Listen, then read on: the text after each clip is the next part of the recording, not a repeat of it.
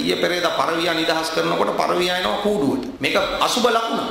දැන් පරවියා නැවත කූඩුවට එනකොට පරවියාගෙන් සලකුණු කරගෙන ඡන්දය ඉල්ලන්න හදපු එක දැවැන්ත අසුබ ලකුණක් වෙනකොට එතුමා ඒ ලකුණ මාරු කරනවා හංසයා. හංසයාට මාරු කරාට වැඩක් නැහැ. හංසයා කියන්නේ පෙරදිච්ච ලකුණක්.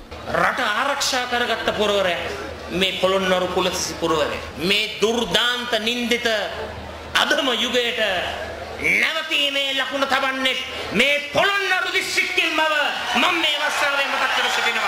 මෛත්‍රීපාල සිරිසේන මැතිතුමාගේ පියා එක්සත් ජාතික පක්ෂේ මං හිතන හැටියට මෛත්‍රීපාල සිරිසේන මැතිතුමාගේ පියා හීනෙන් දැකලා එතුමා කියන්නේ මෛත්‍රීපාල සිරිසේන මැතිතුමාට එක්සත් ජාතික පක්ෂයට යන්නේ කියලා. ඒ නිසා අපි මෛත්‍රීත් අරගෙන අපේ රනිල් වික්‍රමසිංහ මහත්තයාලා අරගෙන අපි මේ මුළු රටම එක්කව කරනවා සාකරණයට දවස් මතක තියාගන්න.